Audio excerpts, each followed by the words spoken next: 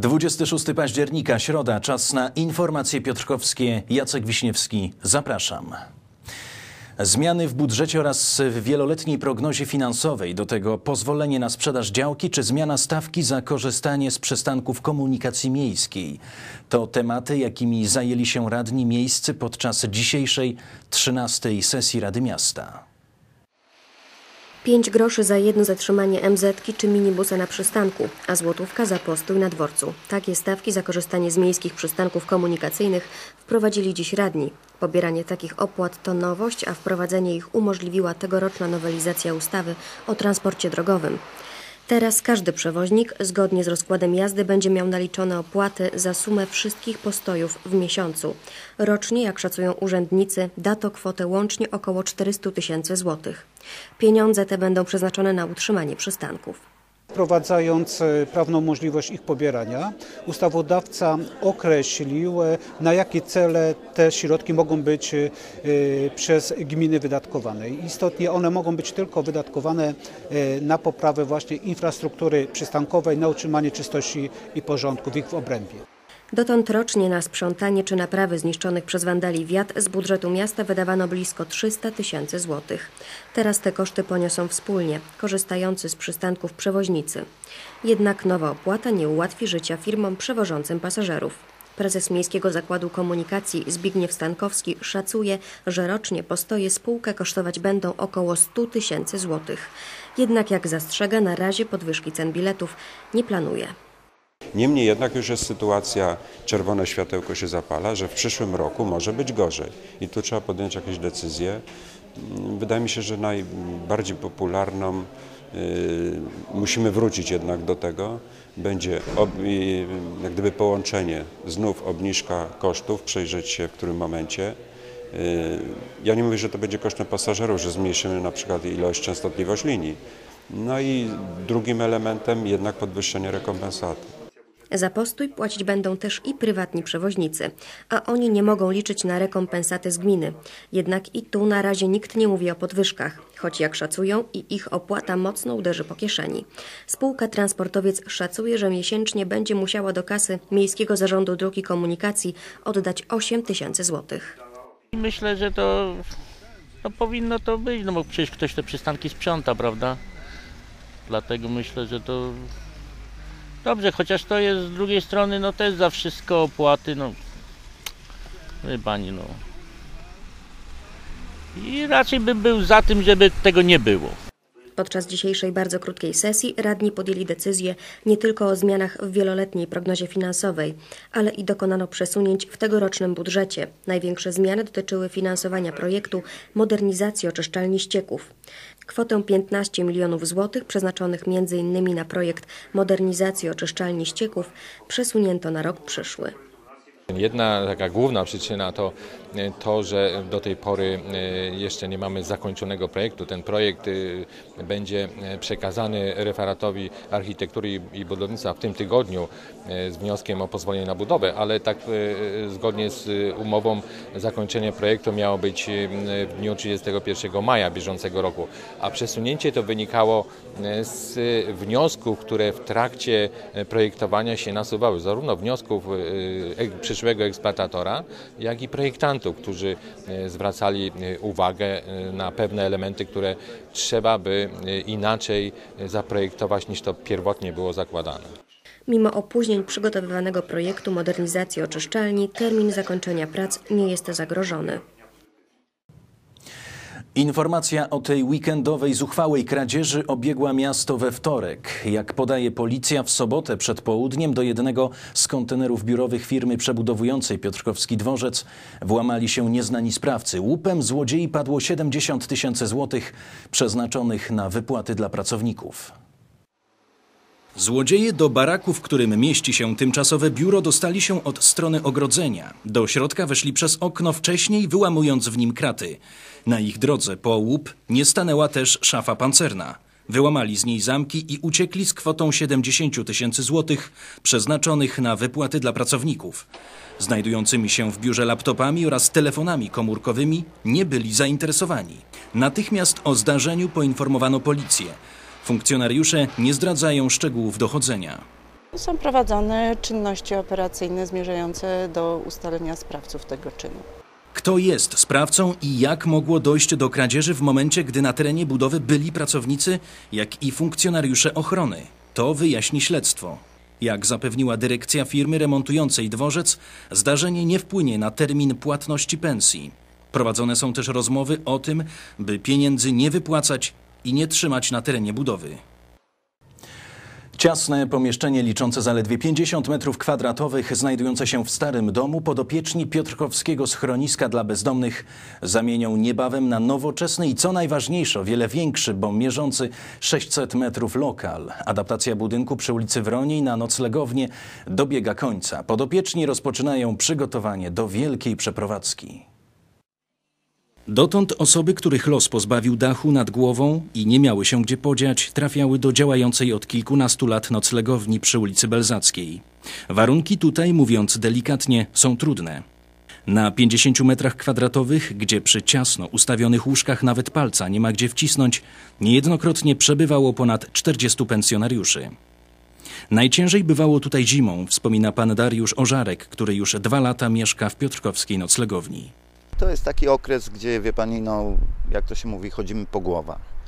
Poza tym siedzenie od rana do wieczora, patrzenie jeden na drugiego wywołuje pewne tam zatargi, konflikty, ale nie, nie było bujek, czegoś takiego. Jest naprawdę w miarę spokojnie, domowa atmosfera, przede wszystkim ciepłe posiłki, dach nad głową, jak to się mówi, własne łóżko. Jest tak, jak powinno być. Już niebawem sytuacja piotrkowskich bezdomnych zmieni się zupełnie. Za około miesiąc zamieszkają oni w zaadoptowanym na noclegownię budynku przy ulicy Wroniej. Tutaj obecnie końca dobiegają ostatnie prace przy układaniu glazury, montażu drzwi czy okien. Sami bezdomni też zakasali rękawy i już przygotowują podarowane przez jedną z firm meble i łóżka piętrowe. Tak będzie szybciej, mówią, bo przeprowadzki doczekać się nie mogą. Tutaj będzie znacznie wygodniej żyć, dodają. Dużo więcej miejsca, po pierwsze lepsze warunki. Tam było trochę za ciasno rzeczywiście. No na pewno będzie całkowicie inaczej. W nowej noclegowni na blisko 600 metrach kwadratowych znajduje się sześć sypialni mogących łącznie pomieścić 48 osób. Będzie też oddzielny pokój dla kobiet, jak i oddzielne węzły sanitarne. Swój gabinet będzie mieć nie tylko administracja, ale i lekarz oraz psycholog. Do dyspozycji pensjonariuszy schroniska będzie też świetlica oraz kuchnia z jadalnią, które czekają na wyposażenie. Obok budynku do zagospodarowania jest też teren na ogród. Warunki tutaj są naprawdę fantastyczne. No jest to już noclegownia o standardzie europejskim, także i wyposażenie kuchni, i wyposażenie całej placówki. Sama kubatura, no to jest prawie 800 metrów kwadratowych. Y, y, Same sale, dużo większe. No warunki są naprawdę fantastyczne. W nowym miejscu będzie obowiązywał obecny regulamin noclegowni, a więc zero alkoholu i jak w prawdziwym domu codzienne dbanie o czystość. Nie będzie też tak, że każdy będzie miał tutaj dożywotnią opiekę. Pensjonariusze będą objęci specjalnym programem wychodzenia z bezdomności. Będziemy się starać taki program uruchomić. Oczywiście nie jest to prosta sprawa, dlatego że bezdomni jest to odpowiednia kategoria ludzi, których trzeba namówić do tego. Ekipa remontowa pracę zakończyć ma do 31 października. Wszystkie formalności potrwają jeszcze około dwóch tygodni. Wielka przeprowadzka możliwa będzie w połowie listopada. Wszyscy chcą z nią zdążyć do świąt. Koszt inwestycji to prawie 700 tysięcy złotych, z czego ponad połowa to dofinansowanie z Banku Gospodarstwa Krajowego. Wypełniła muzyką cztery październikowe wieczory. Piotrkowska jesień organowa dobiegła końca. Ostatni koncert na jezuickich organach dał Tomasz Mońko, a towarzyszyła mu Piotrkowska Orkiestra Kameralna. Każdy z czterech poniedziałkowych koncertów zorganizowanych podczas Piotrkowskiej Jesieni Organowej był wyjątkowy. Ostatnie muzyczne spotkanie u ojców jezuitów wypełniły kompozycje barokowe Bacha i Händla, zagrane nie tylko na kościelnych organach. Soliście podczas koncertu towarzyszyła Piotrkowska Orkiestra Kameralna. Kompozycje wygrane przez ten niecodzienny zespół pozostawiły w sercach słuchaczy niezapomniane wrażenia. Bardzo mi się podobał. Pełen wrażeń jeszcze w takim miejscu jak tutaj, w tym kościele, w takim doskonałym brzmieniu. No coś niesamowitego, super przeżycie, naprawdę. Bardzo dobre, bardzo dobre. Piękne wykonawstwo, wielka e, kunszt wykonania, profesjonalizm. Jestem bardzo, ale to bardzo szczęśliwa, że mogłam oglądać, chociaż nie mieszkam w Piotrkowie. Tomasz Mońko ostatni raz w Piotrkowie koncertował 13 lat temu. Jego muzyka i to, co wykonywał podczas koncertu, nie tylko zachwyciło słuchaczy poniedziałkowego koncertu. Brzmienie nowych organów i ich możliwości mile zaskoczyły samego artystę. Podczas Piotrkowskiej jesieni organowej publiczność miała okazję wysłuchać czterech koncertów. W ich repertuarze pojawiły się barokowe kompozycje typowe dla tego instrumentu, jak i nowoczesne formy, czy też te pisane specjalnie na organy. Smaczków muzyki organowej nie zabrakło. Mimo obaw organizatorów, Piotrkowska jesień organowa była udana. Cieszymy się, że po pierwsze udało się pozyskać świetnych wykonawców, wysokiej klasy artystów, wirtuozów muzyki organowej i nie tylko. I po drugie, że nie zawiodła piotrkowska publiczność, czego się bardzo obawialiśmy, bywało różnie. Ale przez wszystkie te koncerty kościół był pełny i coraz to pełniejszy. To nie koniec spotkań z muzyką organową w Piotrkowie. Jezuickie organy usłyszymy z pewnością nieraz. W najbliższych planach jest zorganizowanie wieczoru kolęd z Towarzyszeniem Chóru. Organizatorami Piotrkowskiej Jesieni Organowej byli ojcowie jezuici oraz Stowarzyszenie Przyjaciół Ognisk Artystycznych w Piotrkowie. Miłośnicy programu zwierzątkowo emitowanego na naszej antenie spotkali się w poniedziałek w Miejskim Ośrodku Kultury. Okazją do tej wizyty było rozstrzygnięcie pierwszego zwierzątkowego konkursu. Autorzy najlepszych prac nadesłanych do redakcji programu otrzymali nagrody. Najlepsze prace wybierano nie tylko pod kątem artystycznym, liczyła się samodzielność i pomysł. Najmłodsi zmierzyli się z trzema formami: pracą plastyczną wykonaną techniką dowolną, fotografią oraz wierszem. Tematem miały być zwierzęta. Skłoniła mnie ciekawość duża. I tak y, bardzo się interesuję fotografią i mój piesek jest chętny do współpracy. Udało się wygrać. Udało się. Cieszysz się? Bardzo. Na konkurs namalowałam sowę. Cieszysz się, że wygrałaś? Bardzo.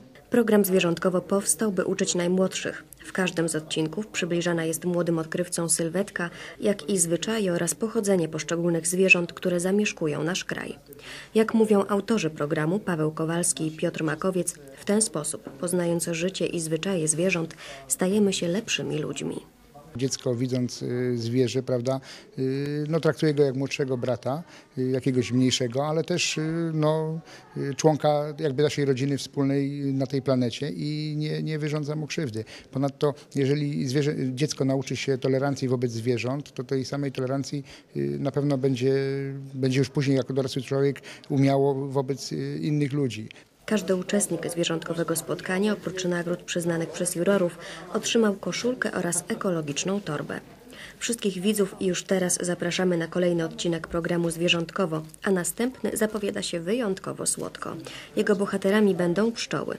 Oczywiście nie zabraknie konkursów. Przypominamy, w Zwierzątkowie na antenie informacji piotrkowskich spotykamy się raz w miesiącu po piątkowym wydaniu programu informacyjnego. Magazyn sportowy. Już za chwilę, w dzisiejszym wydaniu informacji piotrkowskich to wszystko. Dziękuję za uwagę, życzę miłego wieczoru. Do zobaczenia.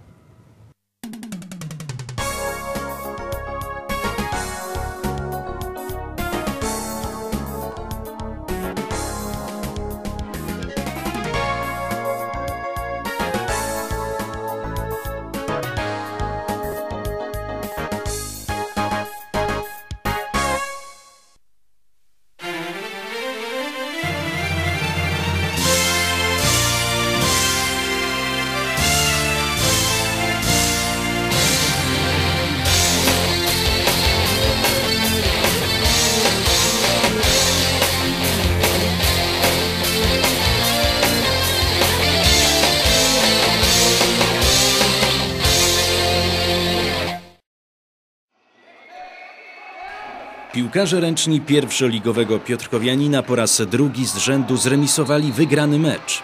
Piotrkowscy zawodnicy podzielili się punktami z Olimpią Piekary Śląskie. Na 50 sekund przed końcem meczu było 28 do 26 dla gospodarzy, którzy byli na dodatek przy piłce. Piotrkowianin nie potrafił jednak utrzymać przewagi i spotkanie zakończyło się remisem. Podobnie jak przed tygodniem Piotrkowianin zaczął świetnie i w 11 minucie po bramce Wojciecha Trojanowskiego prowadził 6-1. Goście zaczęli jednak odrabiać te straty. Gdyby nie świetnie interweniujący Patryk Wnuk, już do przerwy mógł być przynajmniej remis. Do szatni Piotrkowianin zszedł jednak z dwubramkowym prowadzeniem 16 do 14. Druga połowa była nerwowa i obfitowała w wiele błędów. W 50 minucie Olimpia objęła nawet prowadzenie. Po bramce niezwykle skutecznego Damiana Biernackiego było 23 do 22 dla gości. Piotrkowianin odzyskał jednak rytm gry i w 58 minucie Maciej Pilitowski rzucił bramkę dającą prowadzenie 28 do 26.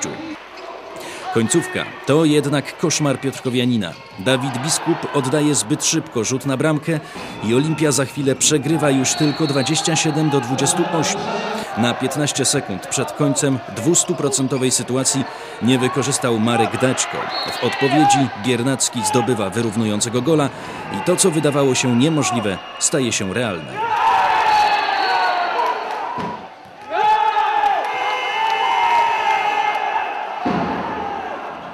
Myślę, że wyciągnęliśmy wnioski, tylko że za bardzo w tej chwili nie mamy kim grać. Zresztą co było widać na boisku, że graliśmy praktycznie jedną siódemką, co próbowałem wpuścić zawodników z rezerwy, to to wyglądało to różnie. No. Niestety jak się nie wykorzystuje stuprocentowych sytuacji, zwłaszcza w ostatniej minucie, no to jest ciężko wygrać mecz, prawda? A te sytuacje dwie były, tylko żeśmy nie rzucili bramki. No. A dodatkowo jeszcze pozwoliliśmy na wyprowadzenie ataku szybkiego i łatwo bramkę dla przeciwnika.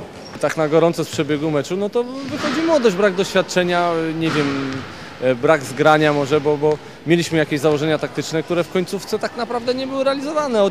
Znowu wyszli prawą stronę odcięli Maćka Pilitowskiego e, i nie potrafiliśmy piłki przerzucić w drugą stronę grać, tylko graliśmy do środka i piłka wracała. Nie było grane zespołowo, jeden na jeden, szarpane. Zgubione piłki takie proste w ataku. I myślę, że to się zemściło, no i to i pokazał wynik kolejny, że, że no, jesteśmy bardzo młodą drużyną, której potrzeba bardzo dużo grania, żebyśmy mogli cokolwiek osiągnąć. Piotrkowianin w meczu siódmej kolejki znów wystąpi we własnej hali. W najbliższą niedzielę o 16 podejmować będzie Beniaminka SKPR Świdnica.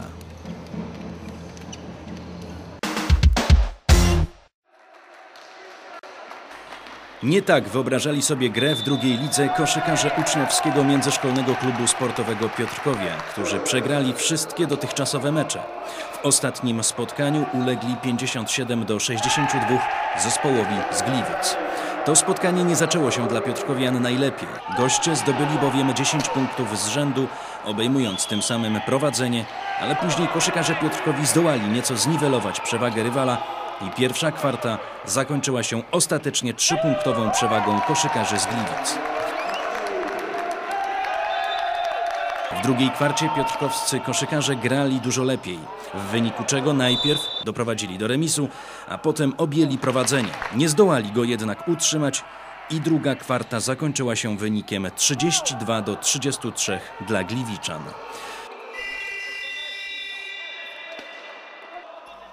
W trzeciej odsłonie tego spotkania koszykarze z Gliwic ponownie zwiększyli dystans do gospodarzy i w czwartej kwarcie wyszli na parkiet z dziewięciopunktową przewagą, którą udało im się utrzymać do końca spotkania. Tym samym dwa punkty powędrowały do Gliwic.